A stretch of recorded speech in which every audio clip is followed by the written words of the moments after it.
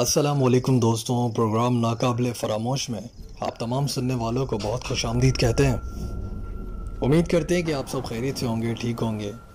तकरीबन पाकिस्तान में और दुनिया जहाँ में बारिशों का सिलसिला शुरू हो चुका है। उम्मीद है कि आप भी इंजॉय कर रहे होंगे। मगर अपने पड़ोसियों का भी बहुत ख्याल रखें। हो सकता है कि बारिश की वजह से उन्हें तंगी या परेशानी का सामना हो।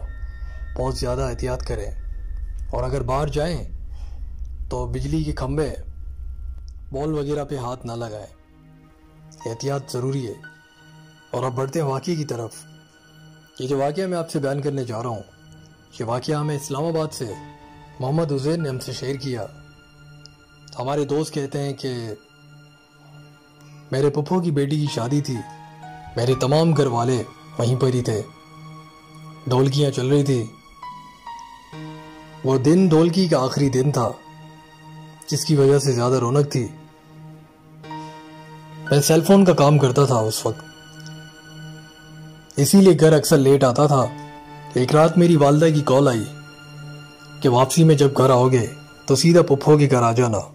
हमें लेते हुए घर जाना। हम भी तुम्हारे साथ घर चलेंगे। मैंने कहा, ठीक है। कहते हैं कि एक बजे का वक्त था रात के। मैं अपनी पप्पो के घर चला गया। थोड़ी देर हुई थी कि मेरे कज़न ने मुझे कहा कि आज आखिरी दिन है। थोड़ा सा एंजॉय करते हैं तो वो मुझे अपने साथ स्नोकर क्लब ले गया। इस्लामाबाद में रहने वाले जानते हैं कि वहाँ पे अक्सर स्नोकर क्लब जितने भी है, वो ट्वेंटी फोर आवर्स खुले रहते हैं। उजैर कहते हैं कि हमने काफ़ी इंजॉय किया एक साथ, मसरूफ थे। जब हम फ्री होके वापसी आ रहे थे घर तो हमारा एक कब्रिस्तान की तरफ़ से गुजर हुआ और मेरे कज़न को शरारत सूझी। अब वो तफरी में आके कहने लगा कि चलो कब्रिस्तान में चलते हैं। मैंने कहा, नहीं भाई रात का वक्त है, कब्रिस्तान में नहीं जाते और अक्सर मैं जितने भी रिपेयरिंग के फ़ोन होते थे, जो कस्टमर्स के होते थे, वो मैं घर पे बनाता था और वापसी में ले आता था घर। तो उस वक्त मेरे जेब में पैसे भी थे और फ़ोन भी था। मैंने अपने कज़न से कहा कि देखो, ये ठीक नहीं है, अभी इस वक्त मेरे जेब में पैसे भी हैं और फ़ोन भी। और हो सकता है कि कब्रिस्तान में कोई मवादी लोग बैठे हों, जो नशा करने वाले लोग होते हैं। हो सकता है कि वो हमसे छीन ले, या ऐसे कोई हादसा पेश आ जाए। कहते हैं कि मैंने बहुत मना किया, लेकिन मेरे कज़न ने मेरी नहीं सुनी। अब वो मुझे मुश्तैल करने के लिए कहने लगा, जाओ यार उजेर तुम डर गए, तुम डरते हो। मैंने कहा कि अगर ऐसी बात है तो आ जाओ, चलो, चलते हैं। कहते हैं कि जैसे ही कब्रिस्तान के दरवाजे से दाखिल हुए सामने से एक डॉग ने, एक कुत्ते ने हमारे रास्ता क्रॉस किया। तो मैंने अपने कज़न को कहा कि देखो, हो सकता है ये हिंट हो अल्लाह की तरफ़ से कि आगे ना जाओ। हो सकता है कि हमें रोका गया हो। मैं अपने कज़न को समझाने लगा। उसने मेरी एक न सुनी। उसके बाद कहने लगा कि मैं नहीं डरता। मैं ऐसी जगहों पे अक्सर अकेला भी चला जाता हूँ। मुझे कुछ नहीं होता। तुम डरते हो। मैंने कहा, ठीक है। अगर ऐसी बात है तो ठीक है। मैं नहीं डरता। और अगर तुम समझते हो कि मैं डरपोक हूँ तो हाँ यार, ठीक है, मैं डरता हूँ। एहतियात पछतावे से बेहतर है। तो मेरे कज़न ने ज़रा ऊँची ऊँची बातें कर ली। मेरे कज़न ने कहा कि मैं ऐसी वीरान जगहों पर भी चला जाता हूँ, मुझे डर नहीं लगता। मैं किसी से नहीं डरता। तो थोड़ी देर गुजरी थी कि सामने से एक औरत नज़र आई, जो सामने गुजरती हुई हमारे करीब से जा रही थी। यानी हमें एक दूसरे के आमने सामने से गुजरना था। जैसे ही वो हमें क्रॉस करके आगे गई, हमने मुड़ के देखा वो औरत जाती जा रही थी। लेकिन उसके जो पैर थे तो उसके पैर मुड़े हुए थे। जब ये चीज़ हमने देख ली, और वो औरत हैरत अंगेज तरीके से मुड़ी, और हमारे पीछे भागती भी आई, वो अजीब तरीके से चलते हुए आ रही थी। कहते हैं कि मेरा कज़न जो इतनी बड़ी बड़ी बातें करते जा रहा था, वो खामोश हो गया। और हम दोनों तेज़ी से भागे, जो स्ट्रीट की तरफ़ हमें बाहर का रास्ता निकलना था, हम उस तरफ़ भागे, जहाँ पे स्ट्रीट लाइट भी थी। तकरीबन रात के पौने तीन बज रहे थे। हमने तेज तेज कलमा पढ़ना शुरू किया, और आयतल कुर्सी पढ़ने लगे। हम विरत करते करते भागते गए। और अपनी पप्पो के घर में जाके ही सांस ली। हमारे दोस्त उजैर कहते हैं कि कभी भी ज़िंदगी में ऐसी बेवकूफ़ी कभी मत करना। ख़ुद को बहादुर समझने की कोशिश कभी मत करना। ख़ासकर ऐसी जगहों पर जहाँ पे अकल ज़्यादा मायने रखती है, ना कि बहादुरी। ये भी अल्लाह की बनाई हुई मखलूक है, इन्हें भी गुस्सा आ सकता है। इनके हाथों से भी इंसान का कत्ल हो सकता है। एहतियात करें, एहतियात पछतावे से बेहतर है। और कभी भी ऐसी वीरान गाँवों से गुजरें, एक चीज़ का ख्याल रखें कि आयतुल कुर्सी ज़रूर पढ़े। और अब बढ़ते हैं एक और वाक़े की तरफ़, और ये जो वाक़ मैं आपसे बयान करने जा रहा हूँ, हमारे एक दोस्त ने आज़ाद कश्मीर से ये वाक़ में भेजा। इस शर्त के साथ कि हम उनका नाम शेयर नहीं करेंगे। कहते हैं कि बहुत पुरानी बात है कि वाक़ मेरी वालदा मोहतरमा के साथ पेश आया। हम दो भाई थे। काफ़ी पुरानी बात है, हम छोटे थे। मेरी वालदा ने हमें सुलाया। और मेरी वालदा ने बेड को जो है वो दरवाजे की तरफ़ किया, ज़रा डायरेक्शन चेंज की। उसका रुख जो है वो दरवाजे की, जो गुजरगाह होती है, उसकी तरफ़ रखा। हमारे दोस्त कहते हैं कि उसी रात मेरी वालदा को ख्वाब आया कि मेरे रास्ते से हट जाओ। तुमने मेरा रास्ता रोका हुआ है, वहाँ से हट जाओ, वरना तुम्हारा हशर बुरा करूँगी। कहते हैं कि वो एक औरत थी जो मेरे ख्वाब में आई थी। सफ़ेद लिबास में मलबूस थी, जैसे अरबिक थोब होता है। इस तरह का लिबास पहना था। और उसने मुझे ये ये बातें कही। जब उनकी वालदा डर के उठ गई, कहती हैं कि, ऐसे लग रहा हो जैसे ख्वाब नहीं, बिल्कुल मेरे पास खड़ी थी कोई औरत जो मुझे कह रही हो। गोया मैं ख्वाब देख रही हूँ। हमारे दोस्त कहते हैं कि ये मेरी वालदा के साथ पेश आया था ये वाक़ और उसके बाद जो उस मखलूक ने, जो वो गैबी मखलूक थी हमारे घर में, उसने हमारा क्या अशर किया? ये भी मज़ीद मैं आगे शेयर करूँगा आबिद भाई। बहुत शुक्रिया आपने अपनी फैमिली की, सच्ची कहानी हमसे शेयर की, बहुत शुक्रिया। नाम नहीं बताना चाहते हमारे दोस्त तो हमें याद रखिएगा इन्हें भी और हम सबको।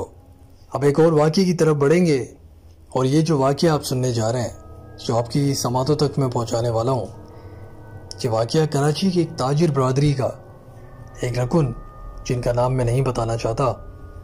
अक्सर कराची में मिठाई की दुकानें इन्हीं की है। कहते हैं कि आम तौर पे ये बात सभी जानते हैं कि जिन्नात मिठाई पसंद करते हैं। लेकिन ये बात बहुत कम लोग जानते हैं कि अगर जिन्नात आपकी मिठाई से खुश हो गए या आपसे दोस्ती कर ली तो फ़ायदा भी पहुँचा सकते हैं। लेकिन अगर वो आपसे दुश्मनी कर ले तो उसका अंजाम और नुकसान भी बहुत बुरा हो सकता है। कहते हैं कि जिन्नात की दोस्ती भी बुरी, दुश्मनी भी बुरी। कहते हैं कि मेरे पास अक्सर ऑर्डर्स आते रहते हैं। हमारा जो मैन ऑफ़िस है, अक्सर वहाँ पे बड़े बड़े ऑर्डर्स आते हैं जो हम तैयार करके शादी वगैरह में और किसी इवेंट में बैंकवेट में हम बेचते रहते हैं। एक बार एक ऑर्डर आया था एक घर का। एक फैमिली आई थी नवाब शाह से। उसने हमें ये ऑर्डर दिया। उसने कहा कि हम खुद तो नहीं होंगे, हम आपको पेमेंट और एड्रेस बता देंगे। आप सिर्फ़ वहाँ पे अपना माल पहुँचा देना। कहते हैं कि कराची के इलाके सचल गोड में वो एक बहुत बड़ा घर था, जिसकी मजीद मालूम मैं आपको नहीं दे सकता। सचल गोड में वो एक बहुत ही बड़ा सा घर, जहाँ पे ये माल हमें डिलीवर करना था। हमारे दोस्त कहते हैं कि जब माल तैयार हुआ और मैं अपने कस्टमर बनाने के लिए, उनसे मुसलसल रबते में रहने के लिए खुद ही जाता हूँ। कहते हैं कि जैसे ही मैं वहाँ पहुँचा तो उसने मुझे कहा कि आ गए? आ जाओ मैं तुम्हें देख रहा था मैं काफ़ी वक्त से तुम्हारे इंतज़ार कर रहा था, तुम इस दुकान के मालिक हो राइट मैंने कहा कि हैरानगी से आप कैसे जानते सर कहने लगे कि मैं तुम्हें अच्छी तरह जानता हूँ। मैं अक्सर तुम्हारी दुकान पे और घर भी आता हूँ। तो कहते हैं कि ये बात बड़ी चुका देने वाली थी। और जैसे ही हम उसके घर के अंदर दाखिल हुए, एक अजीब सी वीरानियत महसूस हुई। ऐसे लग रहा था जैसे कोई दिल बुझ सा गया हो, जैसे अजीब सी उदासी सी फीलिंग शुरू हो गई। मनूसियत सी थी उस घर में। शायद मुझे अल्फाज कहना चाहिए कि नहीं, लेकिन हमारे दोस्त कहते हैं कि ऐसे ही था। बस उसके बाद जब हमने सामान रखे तो मैंने उससे कहा कि तुम्हारे घर में कोई इवेंट तो नज़र नहीं आ रहा, मुझे इतना सन्नाटा है। तो सर, आप क्या मिठाई कहीं भिजवाने वाले हैं?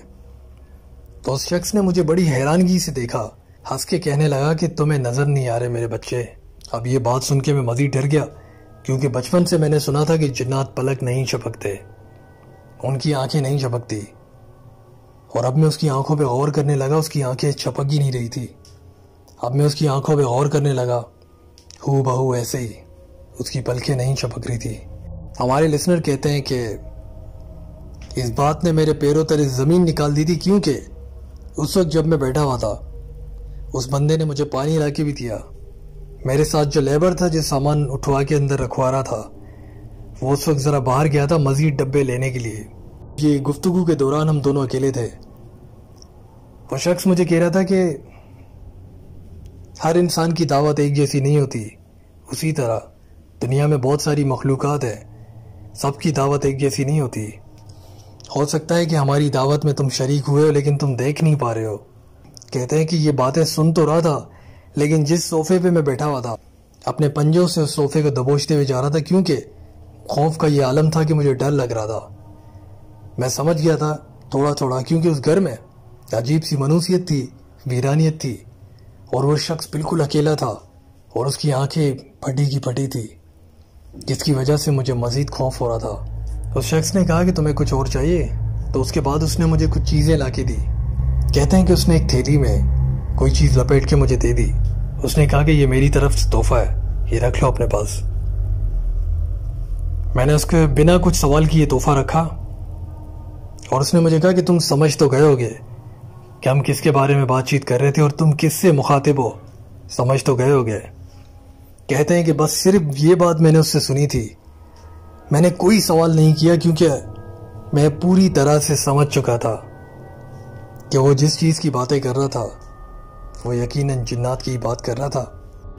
बस ये सुनने की देर थी, जैसे मेरे लेबर ने वहाँ पे डब्बे मुकम्मल किए। वहाँ से फ़ौरन भागा। मैंने अपने लेबर से कहा कि गाड़ी में बैठो और पीछे मुड़ के मत देखना। वो दिन है और आज का दिन है। जब भी कहीं जाता हूँ, एहतियात करता हूँ। लेकिन एक और चीज़, जो उसने मुझे काली थैली में कोई चीज़ लपेट के दी थी जब मैंने घर आके खोला तो उसमें वो सोने के सिक्के थे, जो उसने मुझे दिए थे। वो आज तक मैंने अपने पास संभाल के रखे हैं। कि वो किसी ऐसी मखलूक की तरफ़ से मुझे तोहफा मिला था, जिसकी याद मैंने आज तक अपने पास रखी है। और ये सिक्के मुझे उस वक्त की याद दिलाते हैं। ये था वो वाक़ जो कराची के एक बहुत ही मशहूर बिजनेसमैन, कराची में मिठाई की बहुत सारी दुकानों के मालिक हैं।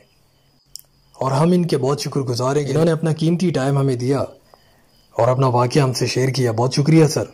और उम्मीद करते हैं कि इन वाक़ात से हमने कुछ छोटी छोटी चीज़ें सीखी होंगी, जिससे हमें आगे चल के कुछ फ़ायदा हो और हम दूसरों को भी इसकी नसीहत करें। जैसे कि एहतियात हमेशा ज़रूरी है, चाहे वो बाहर ही निकलना हो घर से या कहीं भी आप जा रहे हो, हिसार में रहें।